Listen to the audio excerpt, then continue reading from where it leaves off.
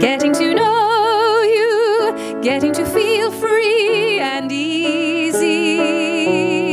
There are times I almost think I am not sure of what I absolutely know. We have a lovely full orchestral sound, which not necessarily a lot of touring productions have anymore. So it's very rich to the ear and to the eye, I think.